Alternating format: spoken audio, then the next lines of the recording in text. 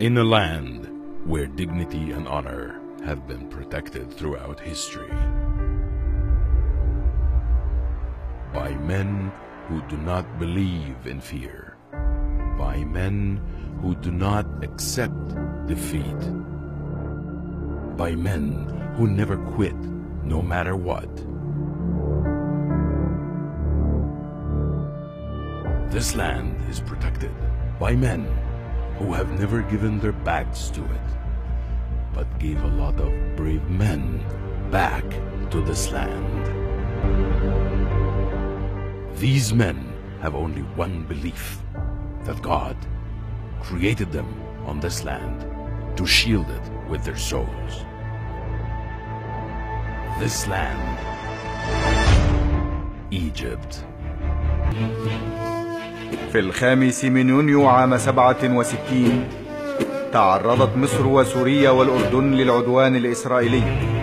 وكان هدف إسرائيل في اتجاه الجبهة المصرية تحطيم قدرة مصر وإضعاف دورها في مساندة قضايا الأمة العربية وعلى رأسها القضية الفلسطينية.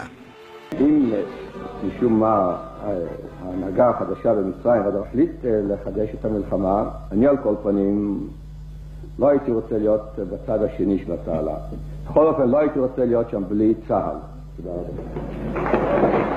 המליץ בפני הממשלה לבחור בין לקבל את התכתיב המצרי, המדיני, לנסיגה, או לקבל פתיחת אש מצרית, הייתי מציע לקבל את. ورغم كل ذلك فإن مصر سرعان ما استجمعت قواها وأعلنت قرارها بمواصلة الحرب قناعة منها أن ما أخذ بالقوة لا يسترد بغيرها. ولم تمض أيام قلائل على وصول القوات الإسرائيلية إلى الضفة الشرقية للقناة حتى كانت القوات المصرية تعبر عن إرادة شعب مصر برفض الاستسلام ومواصلة الحرب. وتمكنت مجموعة صغيرة من رجال الصاعقة المصرية من إيقاف طابور إسرائيلي مدرع كان متجها نحو مدينة بور فؤاد وكبدته خسائر فادحة وأجبرته على التراجع. كما وجهت الطائرات المصرية ضربة جوية للتجمعات الإسرائيلية شرق القناة وأحدثت بها خسائر جسيمة كما نجحت البحرية المصرية. في إغراق المدمرة الإسرائيلية إيلات في أول معركة بحرية تستخدم فيها الصواريخ وكانت تلك المعارك المتتالية بداية لمرحلة عرفت في تاريخ الصراع العربي الإسرائيلي بمرحلة الصمود No one will capitulate here in this country. I am not ready to capitulate or to surrender one inch or a bit of sand from our land. وبدأت على الفور عملية تنظيم القيادات والقوات وتسليحها من جديد كما بدأت عملية التدريب الشاق والعملي طوال الليل والنهار كل ذلك في ظل اشتباك شبه يومي بالطائرات والمدافع والقوات تحملت خلالها مصر الكثير من التضحيات ولكنها أوقعت في صفوف القوات الإسرائيلية الكثير من الخسائر والكثير من الخوف والقلق والشك في حقيقة الانتصار الذي تحقق.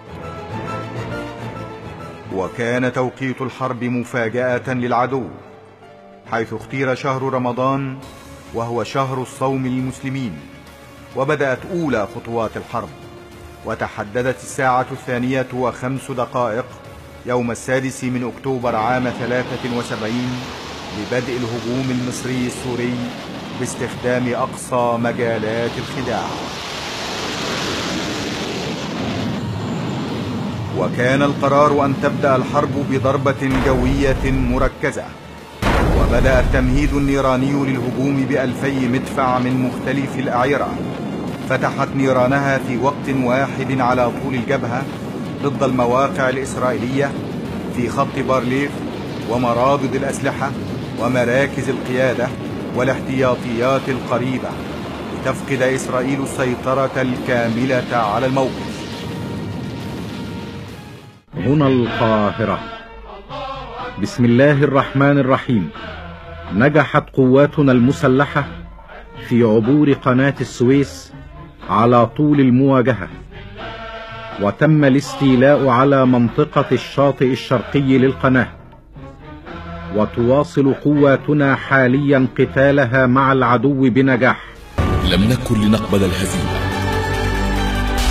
أو أن ينتهك شبر واحد من تراب مصر. وبدأت سيمفونية. يقود عازفيها مايسترو محترف لتلوح لنا في الأفق. بوادر النصر. القوات المسلحة المصرية تنتفض وبأيد سمراء قوية تعود سيناء مصرية.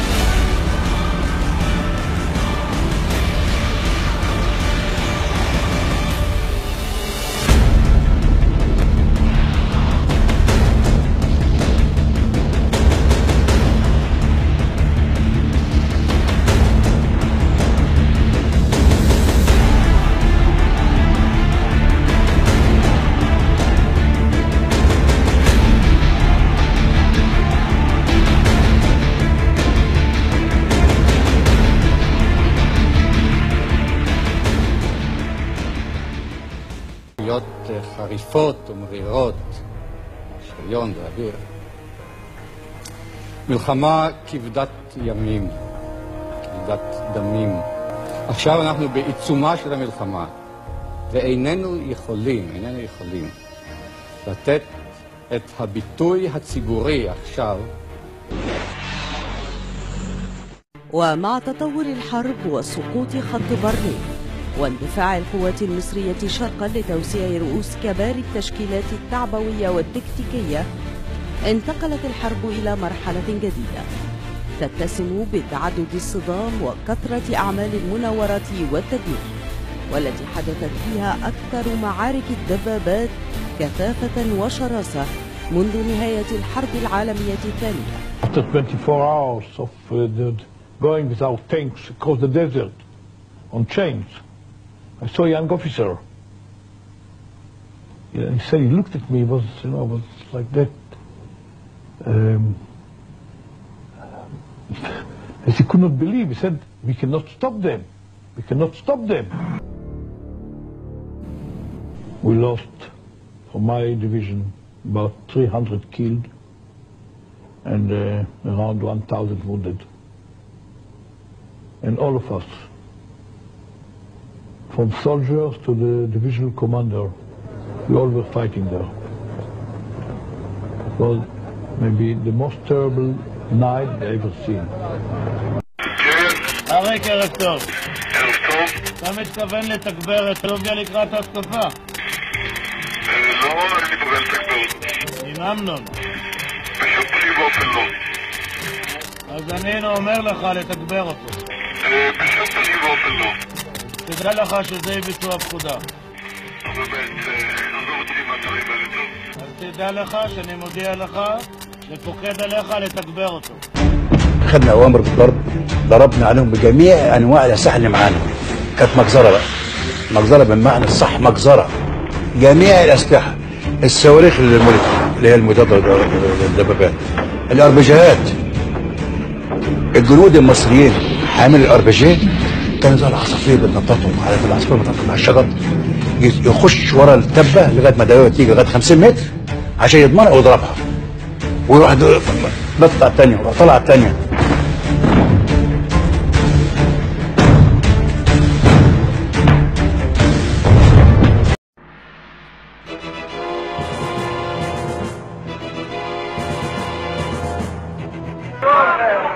Asaf Yaguri and his crew were taken prisoner, and Yaguri became Egypt's highest ranking Israeli POW.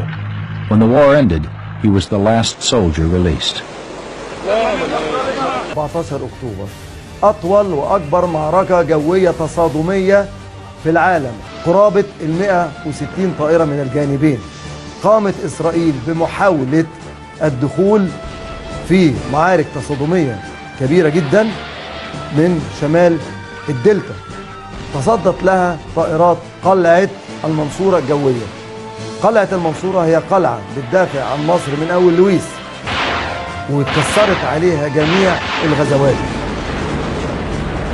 اشتبكت الطيارات المصرية مع الطائرات الإسرائيلية وأسقطنا لهم 17 طائرة باعترافهم استمرت المعركة 55 دقيقة كاملة.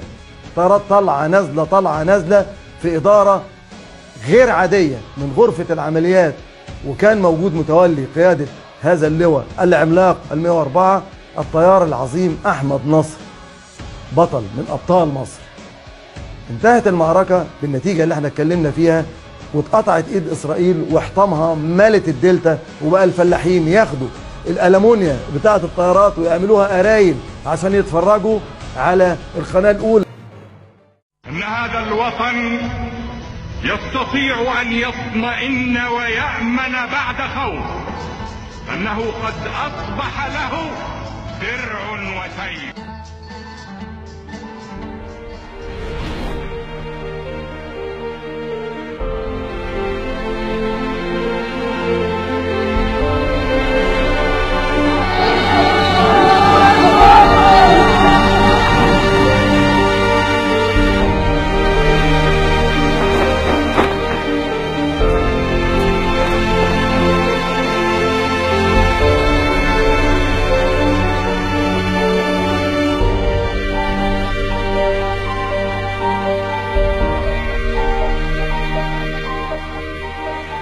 اروها بعرقكم زي ما إحنا رويناها بدمنا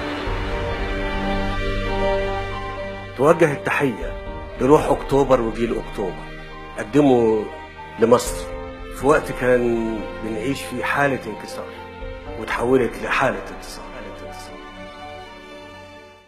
أنا بفكر كل اللي بيسمعني الجيل الرابع من الحروب. ده جيل في منتهى الخطورة بيتم استخدامه في المنطقة بالكامل وفي مصر. الجيل ده بيستخدم فيه الإرهاب كوسيلة بتستخدم فيه وسائل الاتصال الحديثة بتستخدم فيه الشائعات الحرب النفسية. منظومة متكاملة بتشتغل عشان تجيب نتيجة هائلة. ما تقولش اللي بيتقال ده اتقال ولا ما اتقالش؟ اللي بيتقال ده بيتقال ليه؟ هدفه إيه؟ جيش المصريين.